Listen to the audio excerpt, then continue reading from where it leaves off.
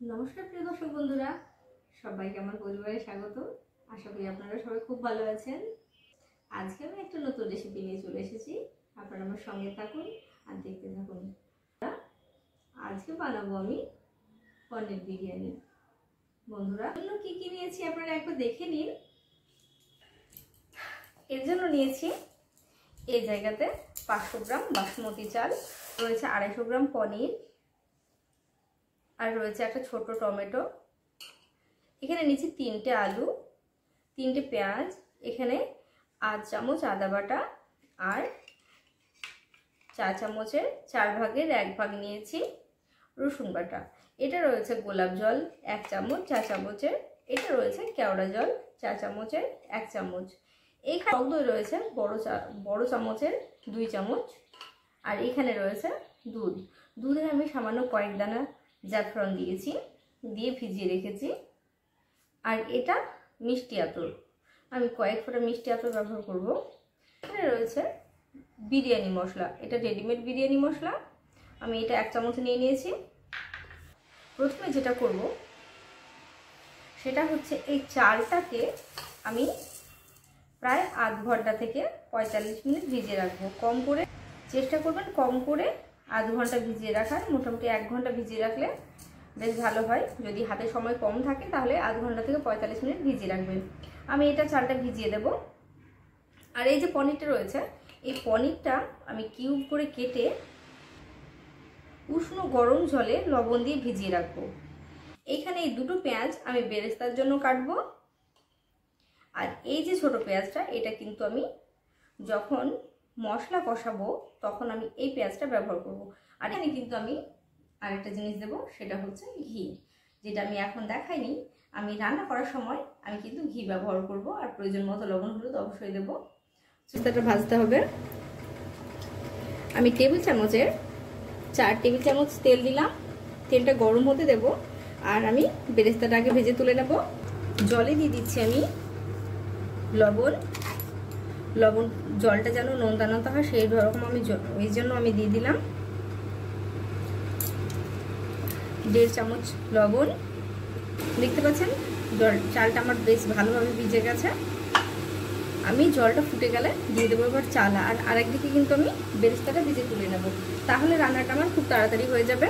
বন্ধুরা, বেরেস্তাটা ভাজা হয়ে গেছে। দেখতে পাচ্ছেন? বেশ লাল হয়ে গেছে। আমি এবার একটু তুলে নিচ্ছি। বন্ধুরা, বেরেস্তাটা আমি তুলে নিলাম। এভাবে একটু ছড়িয়ে দিয়েছি যাতে করে বেরেস্তাটা বেশ মুচমুচে হয়। দেখতে পাচ্ছেন?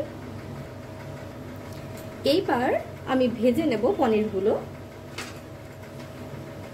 দেখতে পাচ্ছেন? পনিরগুলো আমি ভালো করে জল ঝরিয়ে নিয়েছি। আর দেখুন কতটা নরম হয়েছে।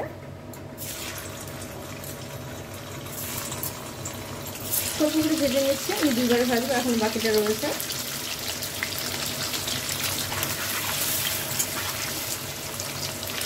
দেখছেন একদিকটা ভাজা হয়ে গেছে। ভাজা হয়ে গেছে, পনিরগুলো আমি তুলে নিচ্ছি। তারপর বাকি পনিরগুলো ভেজে ভেজে নিচ্ছি।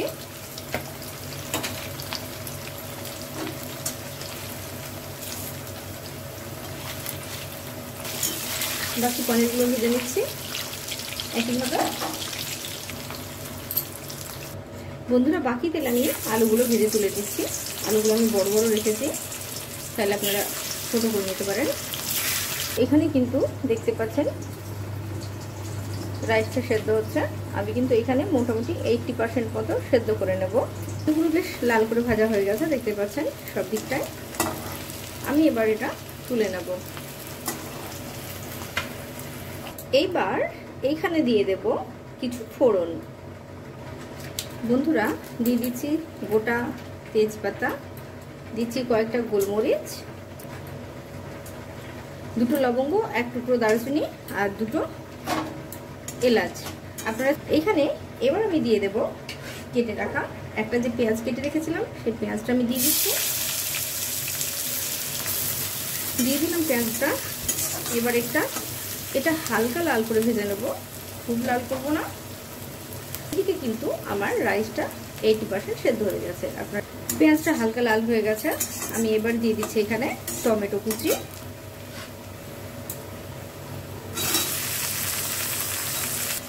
দিয়ে দিচ্ছি লবণ, আধ চামচ মতো লবণ দিলাম চা চামচের একটু ঢাকা দিয়ে দিচ্ছি, তাতে করে টমেটোটা খুব তাড়াতাড়ি নরম হয়ে যাবে। টমেটো হালকা নরম হয়ে গেছে, দেখতে পাচ্ছেন? এবার আমি দিয়ে দেব আদা রসুন বাটা।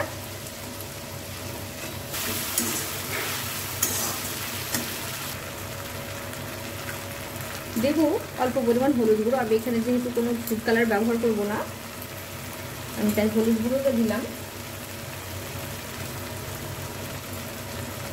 দিচ্ছি টেস্টটা ব্যালেন্স করার জন্য সামান্য চিনি।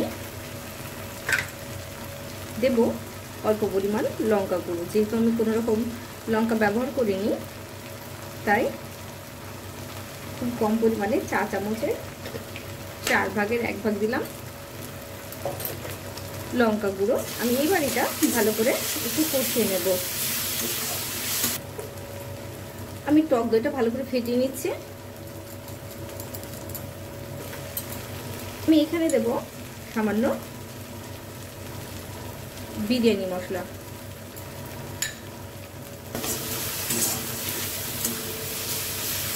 টক দইটা ফেটিয়ে নিয়েছি, আমি এবার টক দইটা দিয়ে দিচ্ছি।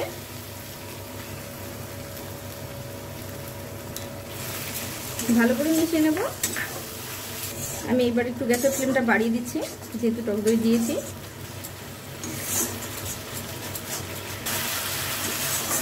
আমি এইবার দিয়ে দেব ভেজে রাখা আলুগুলো।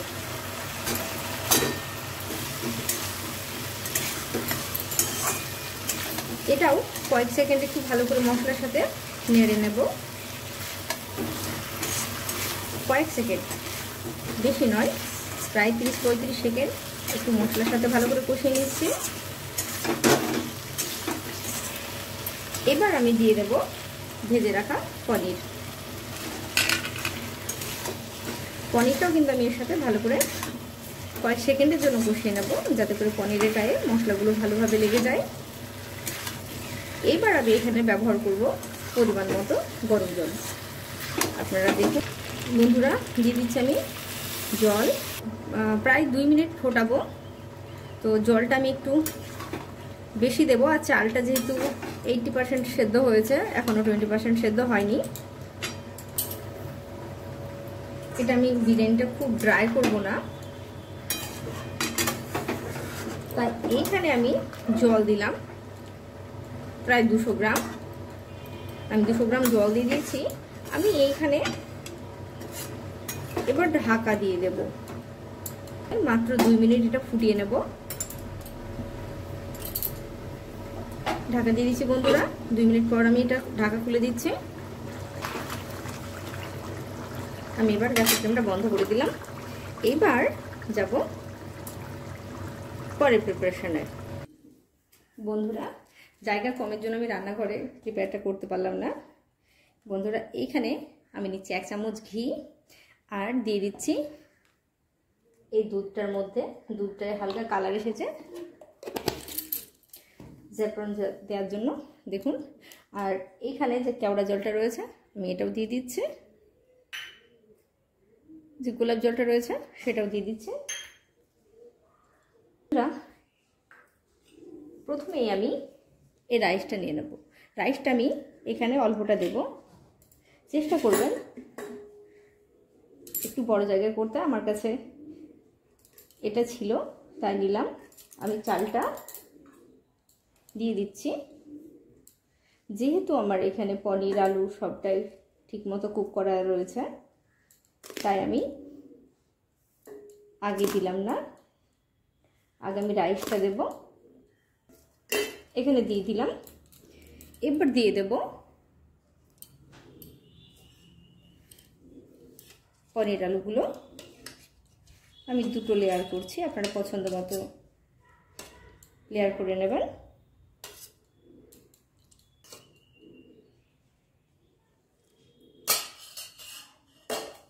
ছড়িয়ে দেব বেরেস্তা, ছড়িয়ে দিচ্ছি। আবার দিয়ে দেব রাইস। আমি এখানে লবণ দিচ্ছি না। কেন আমি যখন চালটা সেদ্ধ করি, তখন কিন্তু আমি রাইসের পনিরটা এ করেছি, তাতেও কিন্তু আমি ভালোভাবে লবণ দিয়েছি। দিয়ে দিচ্ছি বাকি পনির আলুগুলো। যদি কেশর না পান, শুধু দুধ দেবেন, অসুবিধা নেই। সাথে কিন্তু দিয়ে দিচ্ছি সামান্য আবার বিরিয়ানি মশলা। এবার দিয়ে দেবো বাকি রাইসটা। দিচ্ছি উপরে বেরেস্তা ছড়িয়ে। দেখতে পাচ্ছেন? বেরেস্তা ছড়িয়ে দিলাম।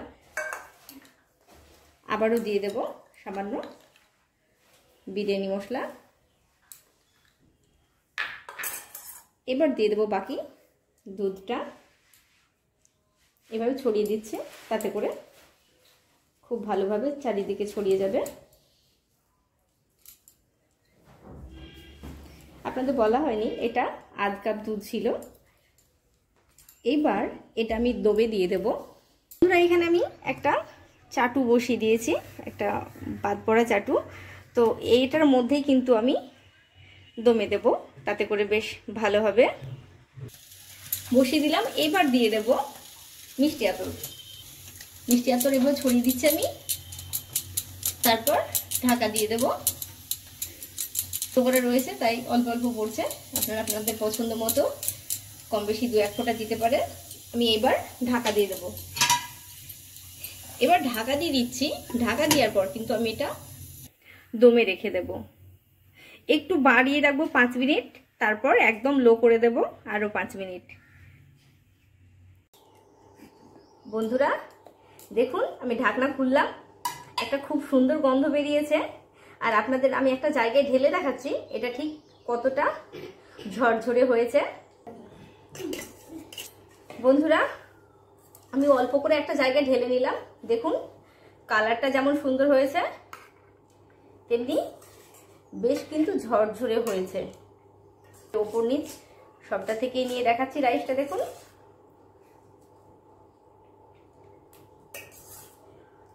দেখুন কীরকম একদম ঝুরঝুরে হয়েছে। আর চালগুলো বেশ ভালোভাবে সেদ্ধ হয়ে গেছে।